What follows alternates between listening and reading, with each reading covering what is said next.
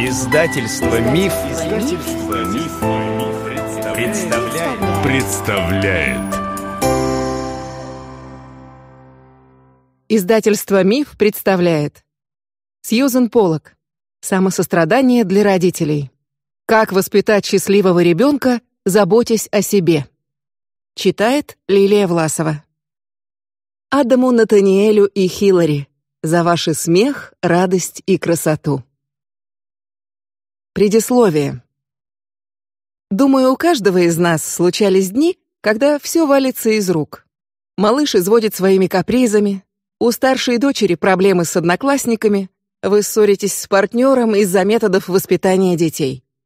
А может быть, все не так страшно, но просто накопилась усталость.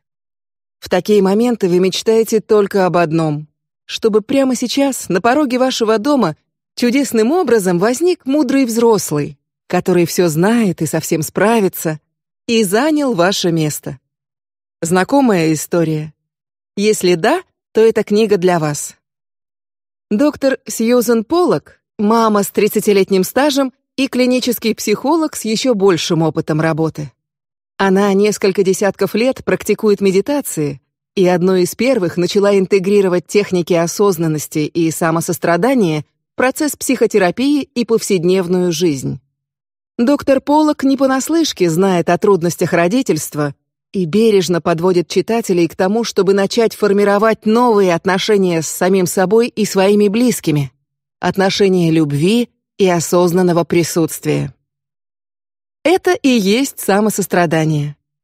Впервые услышав о сострадании к себе, родители обычно говорят: "Да, мне этого точно не хватает". Под грузом повседневных забот они нередко живут на пределе своих эмоциональных сил, когда становится трудно проявлять доброту и сопереживание даже к тем, кого любишь. Они инстинктивно понимают, что нуждаются в подпитке, чтобы делиться положительными эмоциями с близкими.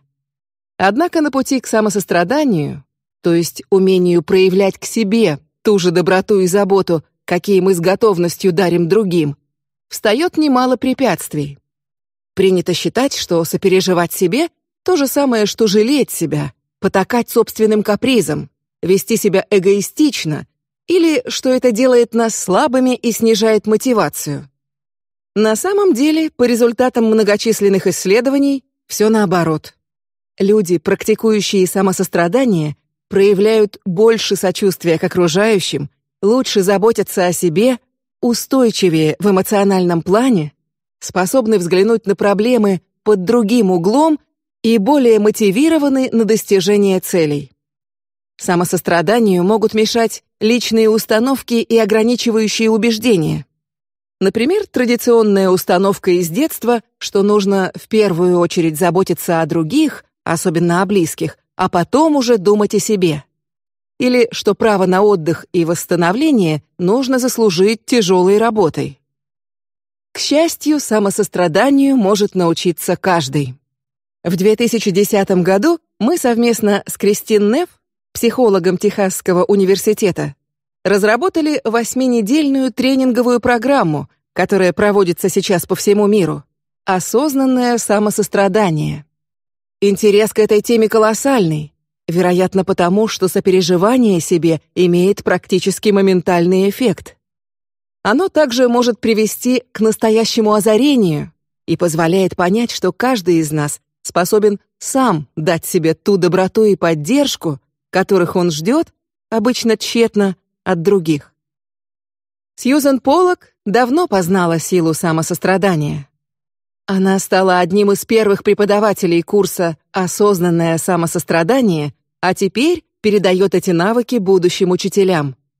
Я так рад, что в этой книге Сьюзен делится глубоким пониманием сострадания к себе. Родители больше, чем кто-либо, готовы к применению этого подхода. Они постоянно преодолевают трудности и проявляют сопереживание. Им осталось только развернуться на 180 градусов направить силу своего сострадания на самих себя и наблюдать за теми благотворными переменами в своей жизни и жизни своей семьи, которые принесет эта простая смена вектора. Эта книга одно из самых доступных введений в тему самосострадания. И это не теория, а практическое руководство для родителей. Сборник подробных примеров, личного опыта и эффективных упражнений, которые позволят облегчить родительскую ношу благодаря осознанности и сочувствию к себе. Книга станет для вас мудрым и сострадательным другом. И даже лучше, она покажет, как вы можете стать для себя таким другом. Сьюзан Поллок призывает отказаться от тех типов поведения, которые усложняют родительство. Перестаньте сравнивать себя с другими родителями, сравнивать своих детей с другими детьми, обвинять себя в неизбежных ошибках, ссориться по пустякам с детьми или партнером.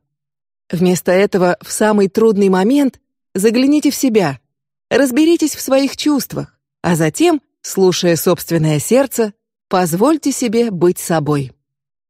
Кристофер Гермер, доктор психологии.